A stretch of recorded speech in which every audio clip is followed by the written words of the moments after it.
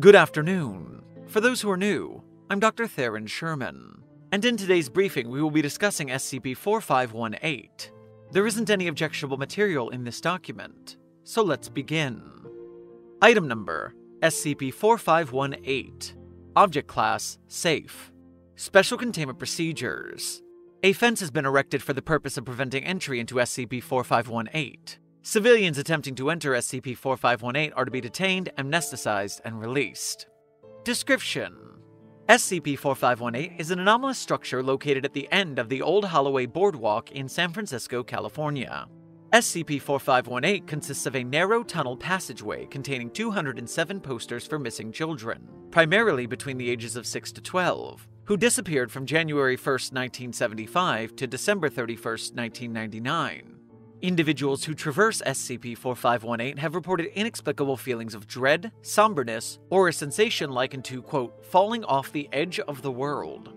SCP 4518 1 is a Class 1 spectral entity, colloquially known as a ghost, residing at the end of SCP 4518, resembling a young child of indeterminate age, sex, or ethnicity.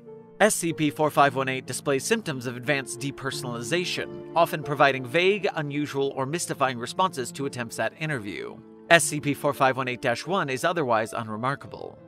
Addendum Interview Attempt After reviewing this document's supplementary materials during an unrelated research project, Dr. Elizabeth Espinoza, then serving as Deputy Director of the Department of Spectral Affairs, requested to speak with SCP 4518 1. Due to Dr. Espinoza's position within the Department of Spectral Affairs, this request was granted. The following encounter was recorded shortly thereafter and has been transcribed verbatim. Begin log. Hello. SCP 4518 1 turns to Dr. Espinoza. You. Huh. Well, that was fast. I don't understand. I saw his face on one of the posters. Read the file. Well, I suppose you wouldn't know what that is. At any rate, it didn't take long to put two and two together. Is. is he still in there? Yes, I see things clearly now. You were playing a game.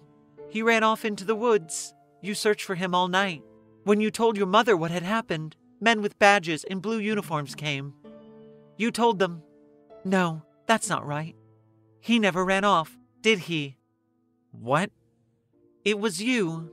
SCP 4518 1 approaches Dr. Espinoza. It was always supposed to be you. Uh, I don't. I mean, I think. I think we've gotten off on the wrong foot here. I never. I mean, I just. I wanted to. Liar. Dr. Espinoza is lost. End log. File update. As of April 24th, 2022, SCP 4518 now contains only 206 missing persons posters. No individual by the name of Dr. Elizabeth Espinoza has ever been employed by the Foundation. Further investigation is ongoing.